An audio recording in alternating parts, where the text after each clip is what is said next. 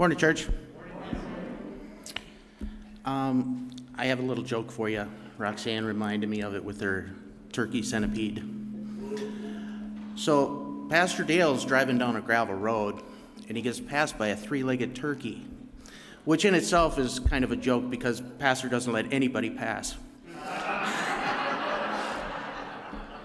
so, anyway, this three legged turkey's running down the road. Pastor decides he's going to follow it. So, he follows this three legged turkey up to the farmer's house or up to a, a farm. Farmer comes out and says, Can I help you with something? Pastor says to him, He goes, What's the deal with that three legged turkey? And farmer says, Well, you know, if Ma wants a drumstick, she can have a drumstick. If I want a drumstick, I can have a drumstick. And if Brother Don comes over and he wants a drumstick, he can have a drumstick. He goes, Oh, well, that's, that's, that's pretty cool. So, how do they taste? He goes, We don't know. We've never caught one. That's my little Thanksgiving joke. okay, so one of the things that we've been talking about in, in, youth group is the Ten Commandments. And last week we talked about the seventh commandment Thou shalt not commit adultery. Well, after Wednesday, I was watching this preacher talking, and he was, he was speaking about killing sin in our lives. And he brought up these verses here, and um, I just want to share this with you. I better get my eyes out first. Okay. This is from Matthew 5, and it's 27 through 30. Okay. So it says, You have heard that it was said, You shall not commit adultery. But I say to you that everyone who looks at a woman with lustful intent has already committed adultery with her in his heart. If your eye causes you to sin, tear it out and throw it away. For it is better that you lose one of your members than that your whole body be thrown into hell. And if the right hand causes you to sin, cut it off and throw it away. For it is better that you lose one of your members than that your whole body go into hell. Okay, now when I was listening to this preacher talk about these verses, um, he, he explained that Jesus wasn't being literal here. He doesn't mean pluck your eye out and cut your hand off. But what he was saying is that you need to be, you need to take sin very seriously, that it's not something to play around with, and that you need to sometimes take extreme measures to avoid it. And while he was saying this, I was reminded of the story of Joseph and Potiphar's wife. When Joseph was put in a situation of where he could have sinned, he ran. He literally ran. He left his coat behind. And uh, sometimes that's what we got to do. You know, even, even something as, as common as, as gossip. When somebody wants to gossip, we need to acknowledge that that is a sin, and we, we need to stop it right there. We need to say, nope, I'm not going to be a part of it. You know, and sometimes, uh, probably shouldn't say this, but I was sharing this with my wife, and she goes, So if I want another piece of cake or a donut, I should run from it? and I'm like, Yes, run. for me, that's the only way to get away from the cake and donut, is I got to run. So, anyway, um, serious, like, like I was saying, sin is a very serious thing. It will keep you out of heaven, and it also keeps us from God. You know, if you're living an unrighteous, unholy life, um, you can't be close to the Savior. So, it's a good thing he, he did what he did for us, and that we can repent of those sins. Let us pray. Dear Father God, we love you and we thank you. We thank you for this day and we thank you for each one that's here. Lord, we just ask that you have your way in this service today. We pray that the message that Pastor brings will be one that we can apply to our lives, that we can share with others. Lord, we pray your blessings over the tithes and offerings that are given, and we ask that they be used to increase your kingdom. Lord, we pray for those who are sick, and we ask for your healing. We pray for those who are struggling and going through difficulties in their lives, Lord, we pray that you will give them peace and understanding. And Lord, as we go through this day and through this week, we ask that you make us aware of situations or circumstances which might lead us into sin or temptation and help us to overcome it and to, to run from it if needed. We just thank you for being so good. We thank you for your love, your kindness, and your mercy. And it's in Jesus' holy name that we pray. Amen. Well, good morning. Good to see all of you. Some of you know exactly what that song is talking about when it says, Let the weak say, I am strong, and the poor say, I am rich. Because you've been without money, but you've realized how rich you are. You've lacked strength, but you've realized that with God you can do whatever you need to do. It's a gift, isn't it? And when we say thanks to God, we bring it back around to give Him credit. Three men went to Aberdeen, Mississippi, dropped in at a church there, talked to the pastor. They said, There's a woman in your church who we know, uh, and we want you to uh, let us know if you become aware of her needing anything. Uh, one was in New Jersey, lived in New Jersey, one lived in Oklahoma, one lived in California. But each of them said, Here's my card, you call me anytime she needs help in any way. And then they told them why. They went to the local uh, bank, to the president. They said, There's a woman in town, has an account here, I'm sure. Um, we want to help her if she ever has financial need. Would you call one of us or all of us if you ever become aware of her having any financial difficulty? And here's why. And they took care of her. Um, one of them did her taxes every year. All three of them came every year at the same time to visit. They each brought a gift that their wife had picked out. They hired someone to cut her grass, clean her gutters, trim her hedges. They arranged for maintenance to be done on her home, or one of them would come and do it himself. They just wanted to take care of this woman. And here's the reason when they were younger, they were in the military together.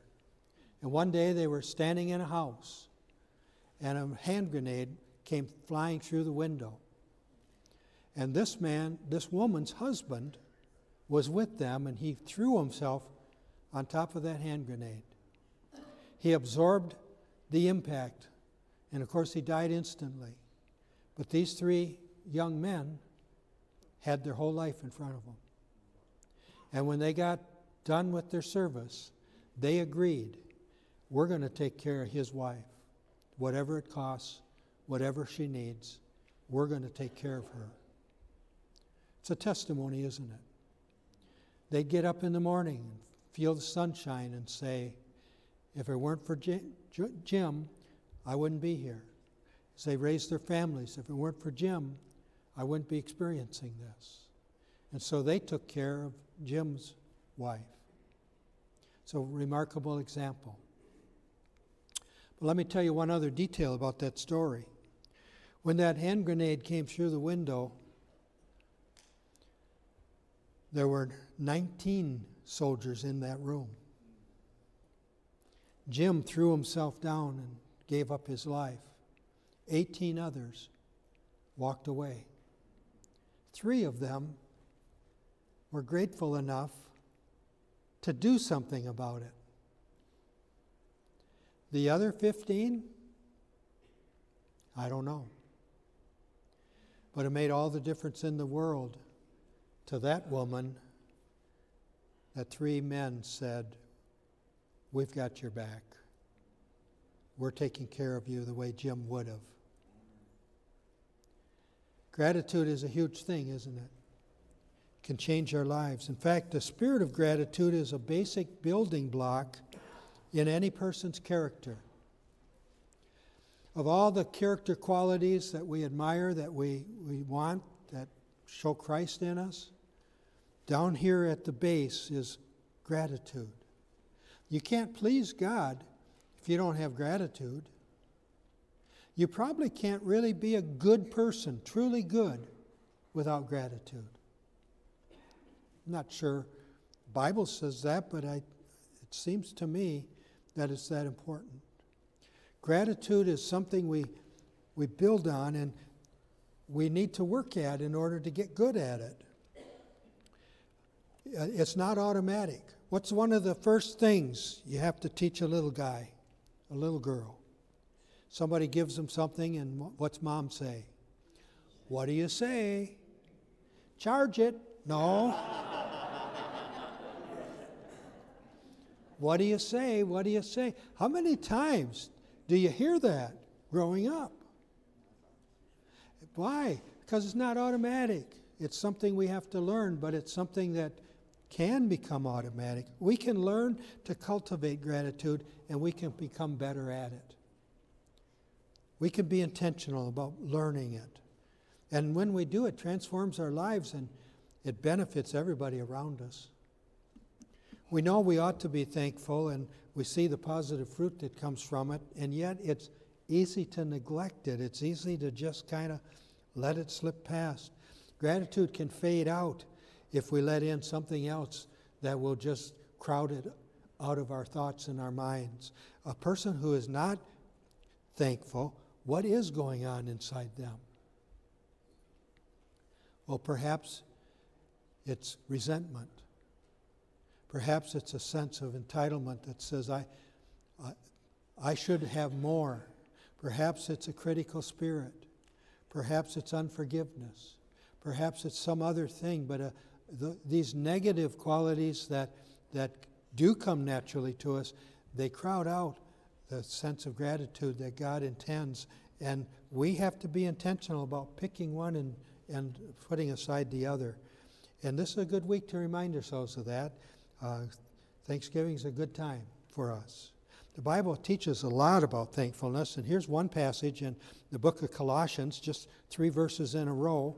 And I'd like to read them to you, and I want you to notice that uh, three times it talks about having grat- gratitude, having a thankful heart.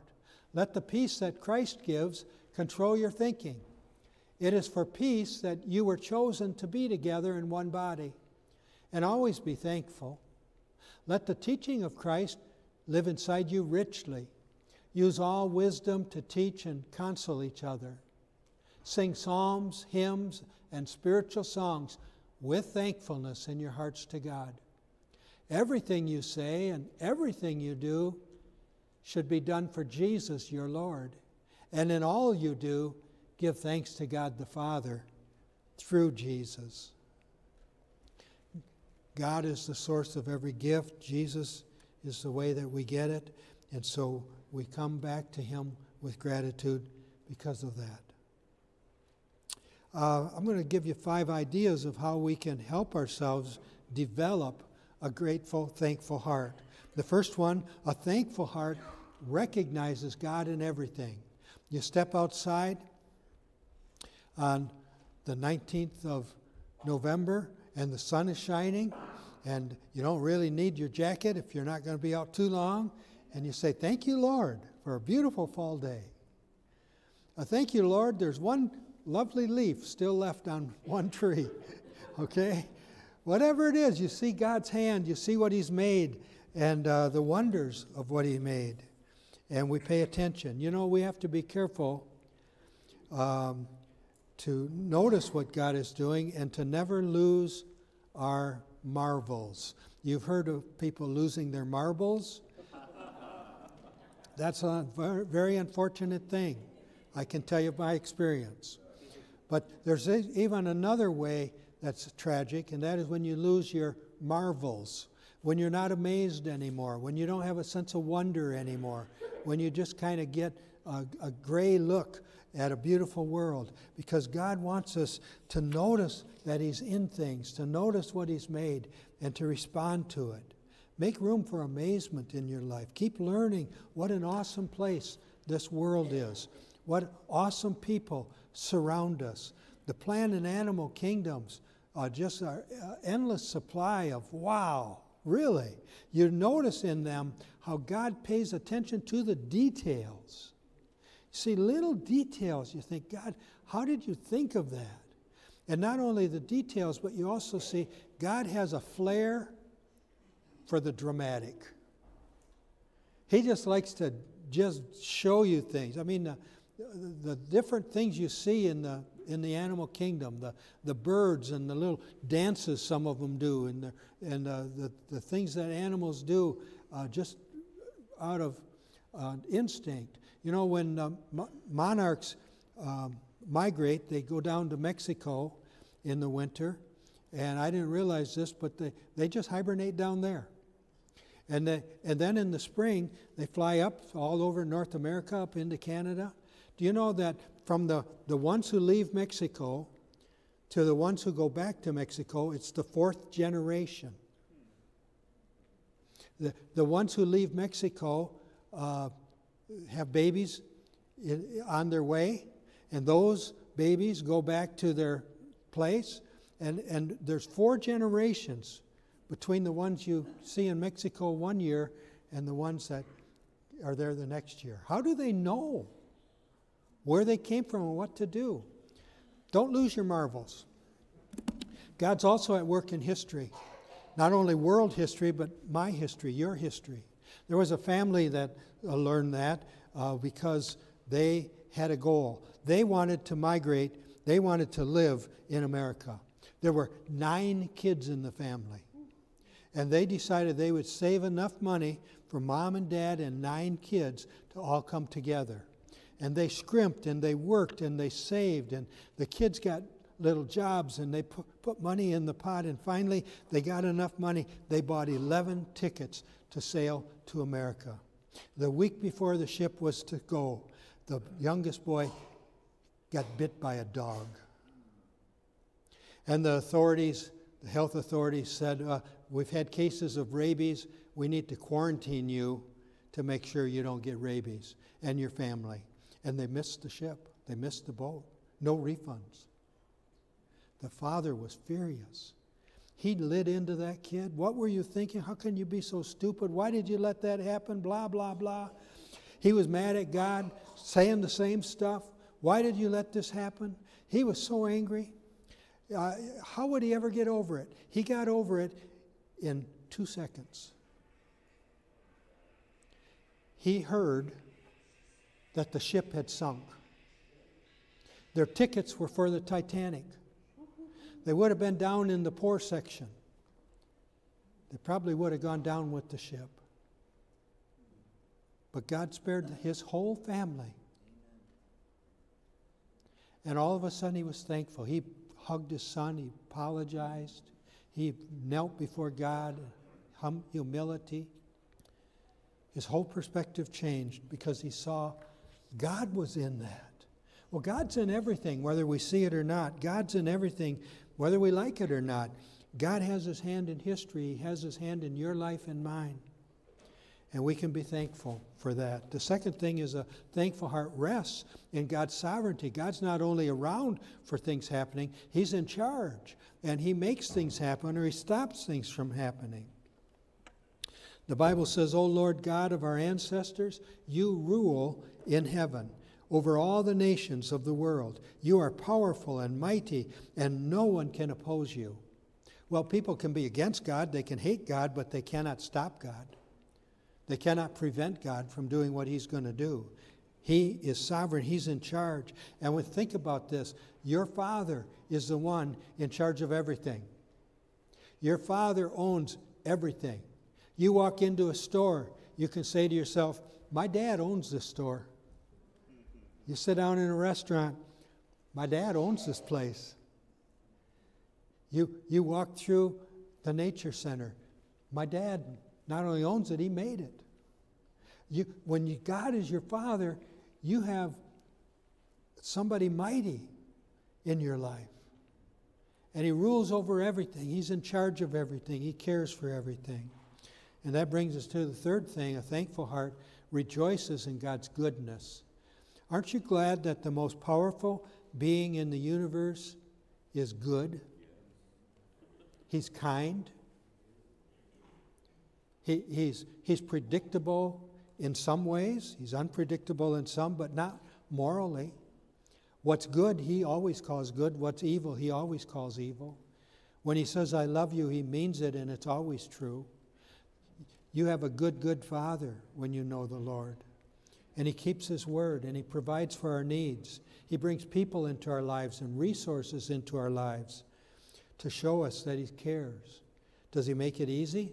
Not, not normally, not always, not too easy. He doesn't make softies out of us. He doesn't make self centered brats out of us, but He does care for us. The Bible says, Give thanks to the Lord, for He is good. His loving kindness lasts forever. I haven't counted how many times you'll find that verse in the Psalms, scattered from one psalm to another, but it's there over and over and over. It's been a theme of worship for God's people for 3,000 years. God has a purpose for everything, and He doesn't waste anything. He doesn't waste suffering. When you go through something painful, God won't waste it, He'll use it for good.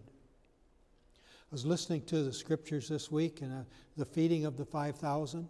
And remember, after Jesus took five loaves and three fish, two fish, and he fed, fed five. Got a correction guy right down here. Fact check. Um, they picked up how many baskets of food afterwards? Twelve. One for each tribe of Israel, one for each disciple, one whatever. But it was interesting to me. I thought about that, and I thought, now the word I've, I've learned before, the word for the basket was the larger basket. They had little baskets and big baskets, but I don't know how big it was. Five gallon pail. But I thought, wait a minute, 12 baskets of food after 5,000 people ate. It took the scraps from 400 people to fill one basket. They weren't just, they didn't just have food lying around. What that tells me is that Jesus was careful in what he did. He made enough for them to all eat what they wanted, and then he made sure there was some leftovers so everybody knew there really was enough. I had all I want, he had all he wants, and look, there's still food left. It showed God's generosity. But it also taught me this, thinking about it God isn't just extravagantly wasteful, He measures what He does. And, um, and I know in my life, He's not wasted the good or the bad things if I'm cooperating with Him. He has a purpose for everything. How many of God's gifts do you suppose we take for granted? I wake up, I feel good, I don't think much about it. If my elbow hurts, I go, oh man. And when it feels better three days later, I say, thank you, Lord, right? I didn't think to say thank you before. I told you the story about the guy who goes to the doctor. He says, Doc, you got to help me. My knee is just killing me. And the doc says, Well, look, Fred, I don't mean to be disrespectful, but how old are you? I'm 92. Well, you're, you're 92. Don't you expect you're going to have some aches and pains? He says, Well, Doc, my other knee's 92 and it don't hurt. We, we take it for granted sometimes, but God wants us to know that He accepts our gratitude for everything. And the fact is, this is not about beating ourselves. Well, I should be more grateful. No, just be aware. Just be aware. And when you realize, I got something to be grateful for, express it. I think Thanksgiving Day is a wonderful idea. Splendid. Because it reminds us to stop and take a look. We're not only grateful for what God gives us, we're grateful for what He keeps away from us. Lita was in the house yesterday and she grabbed a bolt of material and she thought, that feels soft. She knew what the fabric was and she looked around and her hand was on a bat fuzzy little guy. She texted me. She said, Did you hear me when I screamed all the way over at the church?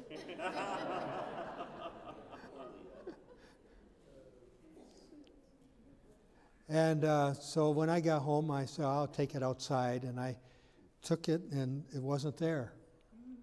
So I moved it, and I thought, well, I'll, I'll check this bolt. And I picked up the next one. And I looked, of course, no bat, but when I put my hand, I thought, wait a minute. It had crawled under the first layer of, of uh, fabric and it was under there. And so we got him outside, it was all good. But what if he was poisonous?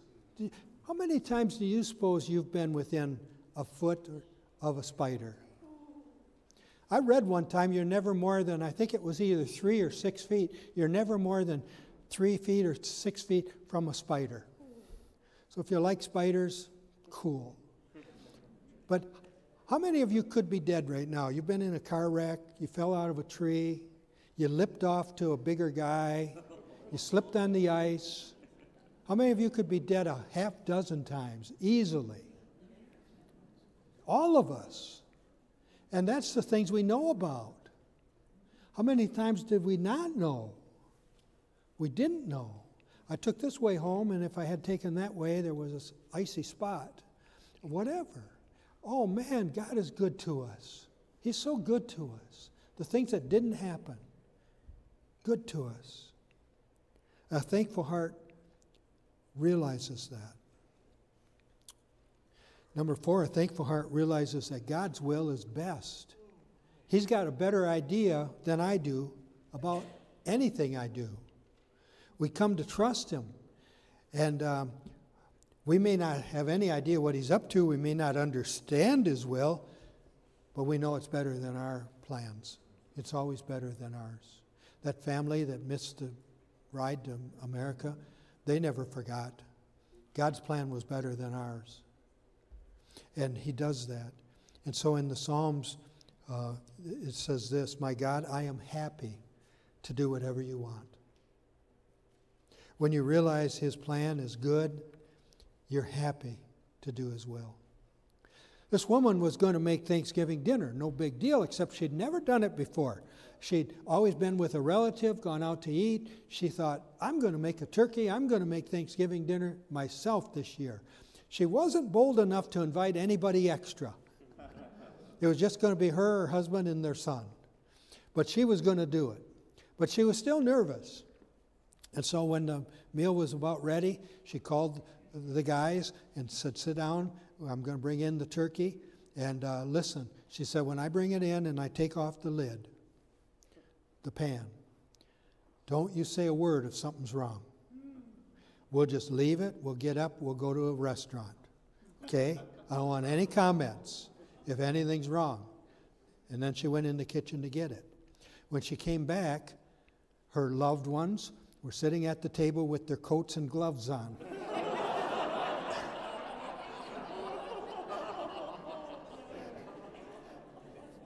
Now, one thing you can be thankful no one in your family would do something like that, right?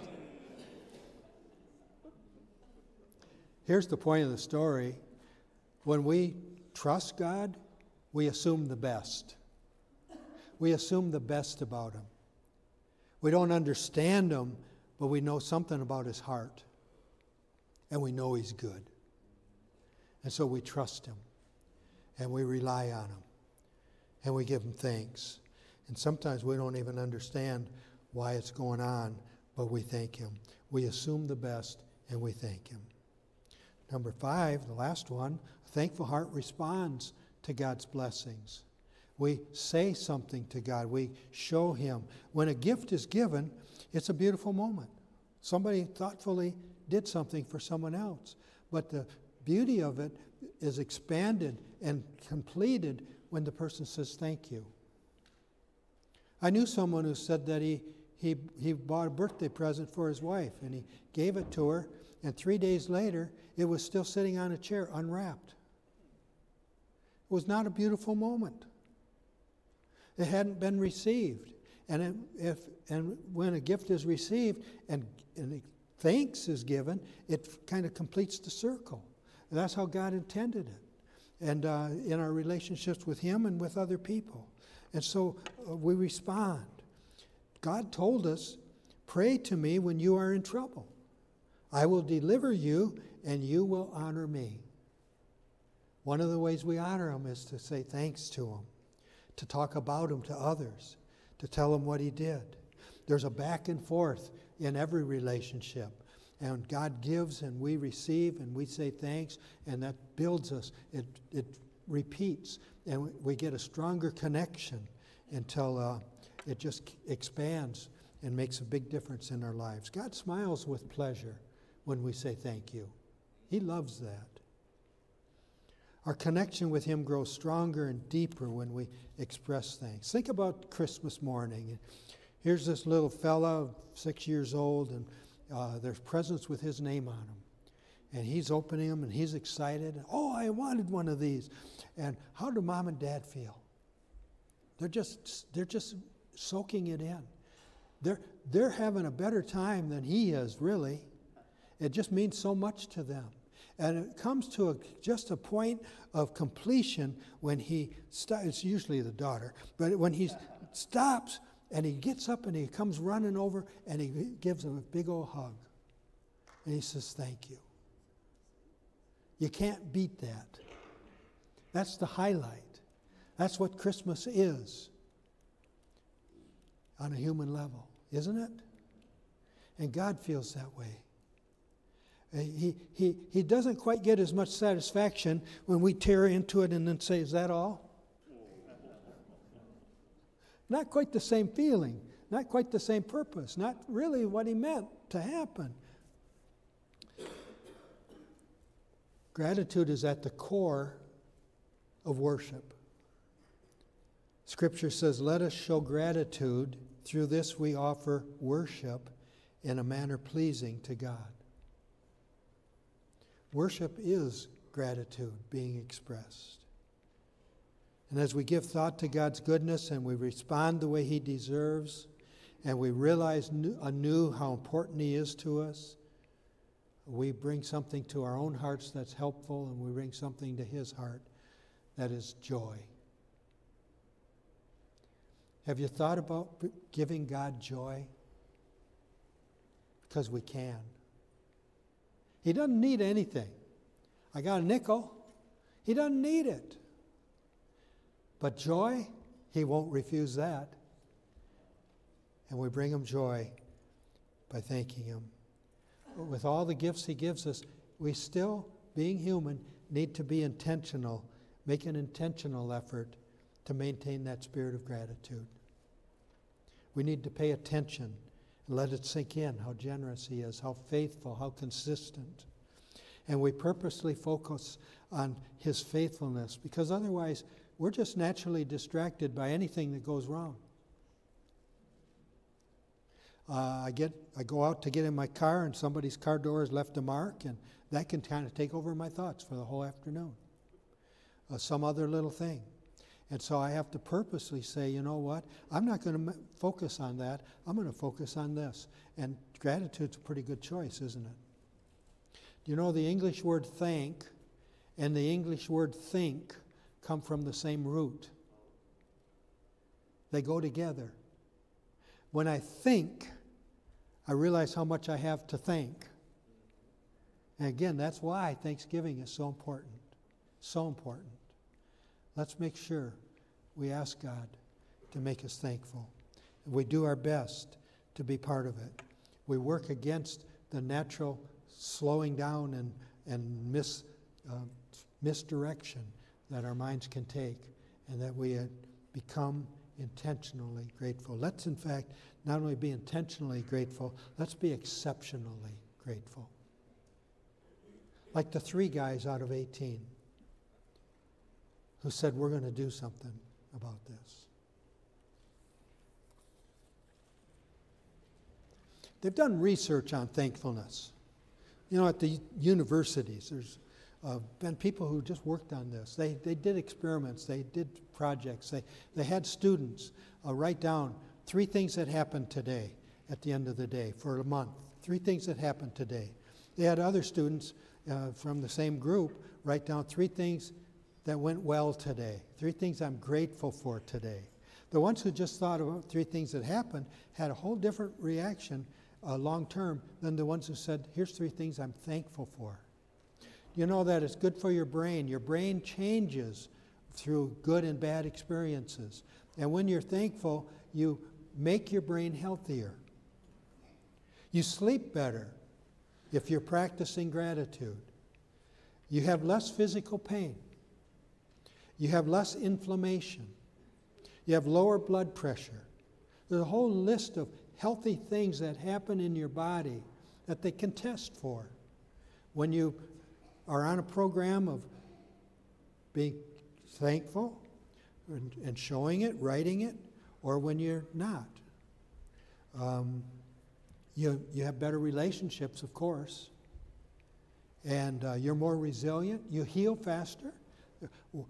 There was something in the Daily Bread, I think this week, about a doctor who told somebody after surgery, now you write down things you're thankful for every day. and you'll heal, you'll heal better. They, do, they give people advice after these projects. One of them is to keep a notebook. So here's my gratitude journal.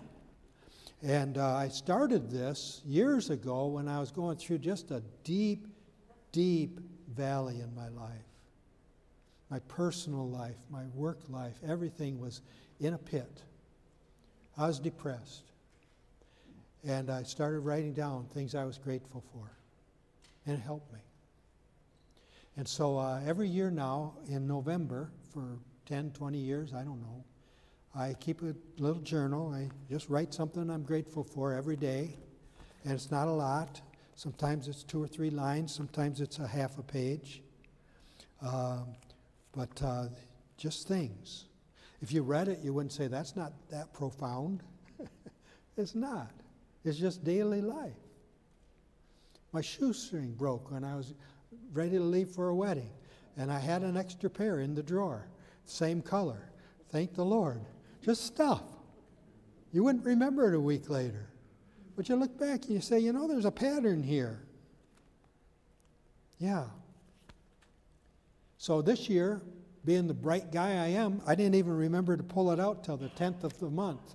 So that's how, that's how natural it is to me after all these years. But I started on the 10th, and I've been writing something every day. And uh, you could do this. And they tell us at the university over there, where they did the research, that it'll be good for us. We'll be healthier. We'll be nicer. We'll enjoy our days more if we just take a few minutes to think of something and say, I'm thankful for that. The same thing happens if you write a note to a person, or if you just call them or send a text and say thank you. Someone uh, sent me a Facebook message a couple months ago. They had a picture of this big old tree. And they said, We just want to thank you. You gave us a seedling 30 years ago. Well, I had bought a whole pack. You could get 25 in a bundle of just little tree shoots from the DNR. And I had planted them around my property. I had some extra. I took them to church, I guess, and said, anybody want them, take them. And this couple had taken one home and planted it up in East Bethel, Minnesota. And they sent me a picture 30 some years later and said, hey, thanks for that tree you gave us. This is what it looks like now. Well, that was kind of fun. And it was even more fun for them to send it. God has ways that He can give us to get good at a grateful spirit if we'll just make the effort. Don't you want to do that? And so the music team is going to come, but they're going to come slow this week because we're going to take 30, 60 seconds and just ask, uh, just ask ourselves, what can I thank God for right now? And so I'm going to invite you just to bow your heads as they get ready. Kathy will maybe play quietly for a minute. And uh, will you thank God for something? That He brings to your mind right now?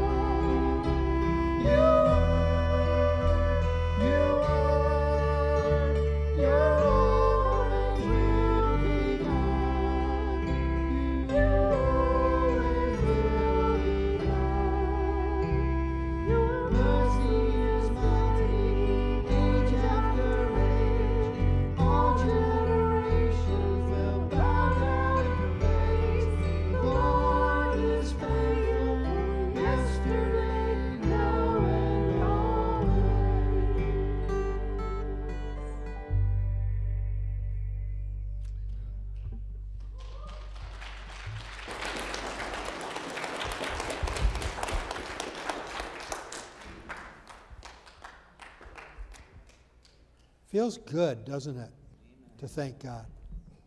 Feels good to worship Him together. Thanks for being here. I had a book a guy wrote, A Year of Thanks. He decided he would write a thank you note every day to somebody. And of course, it was easy at first to think of people, his family, his co workers, people in his life. But uh, as he got down there, he had to kind of think of who he's going to write to next. And of course, there were weeks where he wrote five in a row because he missed four days, and uh, that's life. But he, he kept it up. Pretty soon he's thanking the mailman. Pretty soon he's paying more attention to the people that come and go in his life, and he's thanking them. And uh, he said it changed him. People liked him better. He liked life better. His relationships improved, his spirit improved. He said it was great, it was good for me. And uh, the people that he wrote to, it was good for them. Some of them never been thanked for the work they did. And so let's just ask God to make us intentionally grateful and exceptionally grateful. Can we do that? How about if we just say this, Lord, help me improve a little bit? Amen. Lord Jesus, here we are. We wouldn't be here if it weren't for you. You created us. You've spared our lives many times. You've kept us through thick and thin. You've provided for us. And now, Lord, here we are at this point in our lives, and we want to say thank you, and we want to commit ourselves to being grateful people. Walk with us this week and this Thanksgiving week. Help us to make the effort to make Thanksgiving Day a day of thanks and to be kind to everyone involved in our lives. Flow through us to accomplish your purpose, we ask in your holy name. Amen. God bless you.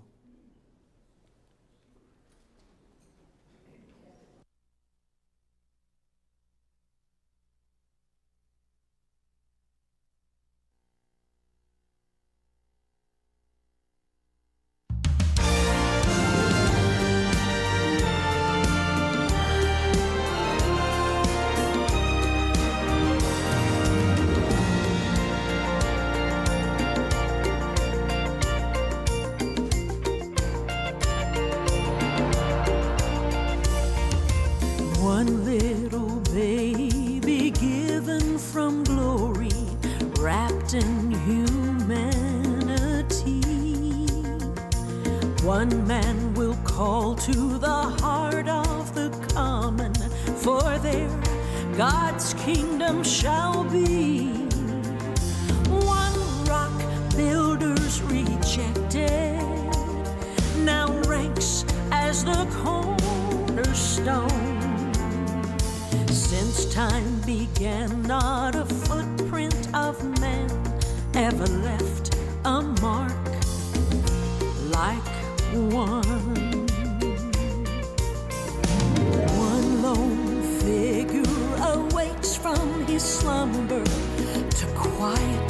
a deadly storm. One at the well waits with life giving water for a thirsty woman would come. One heart full of compassion, whose touch caused the lame to run. The force as a thousand